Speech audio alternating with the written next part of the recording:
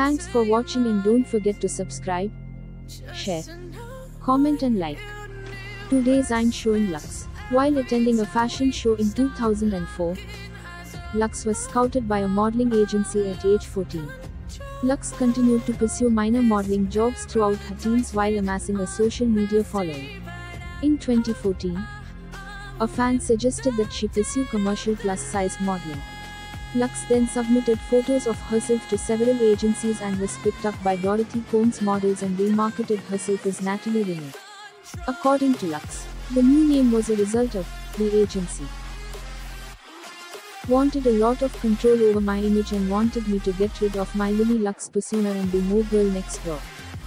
Luxe has modeled for companies such as TJ Maxx, U21, Secrets in Lace, and Bachelor Pad magazine.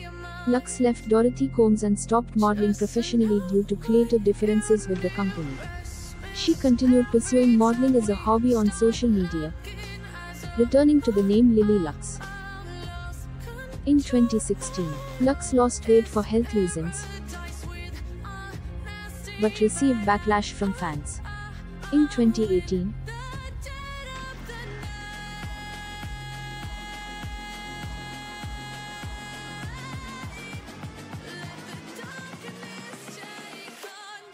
Luxe self-published a coffee book Lily, an intimate look through Kickstarter.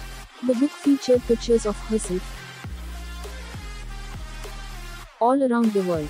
All of yours beautiful words, commands and love. This is most valuable return for me and I love you all. Thanks.